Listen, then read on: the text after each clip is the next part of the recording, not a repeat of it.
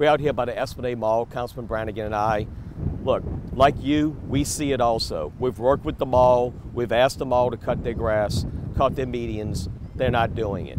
So we're going to take matters into our own hands and we're going to do a city cut. We're going to come out here and cut it. With the help of Councilman Branigan's office and his support in his district right here, we're going to get it done and make it aesthetically pleasing again to everyone because, like I said, he and I see it, but you try to work through the system, you try to make sure that they have the option to do it themselves, and it's not happening. So we're going to do it ourselves.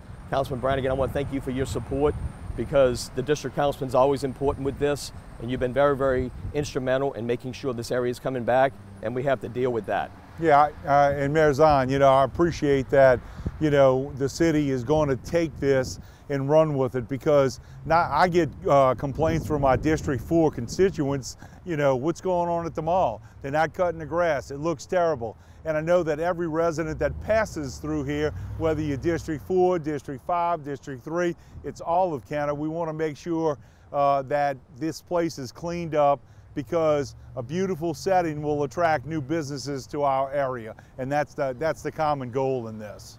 Uh, so I want to thank Ben for getting out here and we get getting this thing straightened out. and we're, we're going to continue to do this um, with his help. We're also doing some things by the Hard Rock construction site.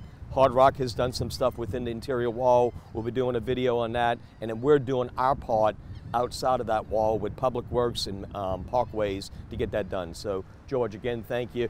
Look, it's, you know, the pandemic has slowed a few things down, but it's time to get back to this and make sure that everything is beautified, particularly with the spring coming in. Thank you, George. All right. Thank you, Mayor.